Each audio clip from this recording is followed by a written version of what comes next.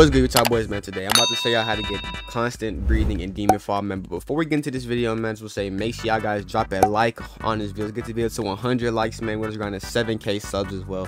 So make sure you guys hit that sub button, turn on post notifications, and hit all, man. So you know I drop bangers like this one. And make sure y'all boys comment hashtag breathing style so I know who listens, man. If you don't listen right now, I don't know what to tell you. But make sure y'all boys comment hashtag breathing style.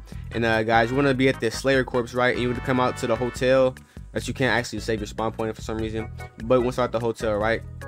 You should see this man right here. You know I'm saying? He talks a little gibberish. And uh, you'll see him in this, you know I'm saying?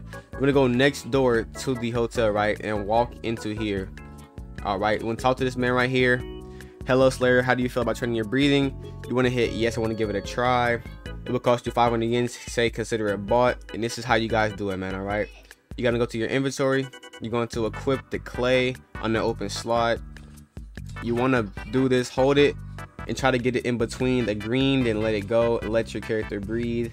As so, you want to do it like in the green, not to the red so much. I know I'm kind of messing up right now. I haven't done this in a, I haven't done this in about a day or two, and the game is pretty fresh as well, so I don't have the most practice with this. But guys, you can get up to max level 10 with this, and this will help you guys get constant breathing, man. So I just want to say, make sure you guys, you know saying, farm up your farm up your coins, you know saying, make sure y'all boys get to up to 5k because it costs 5k to completely max this out.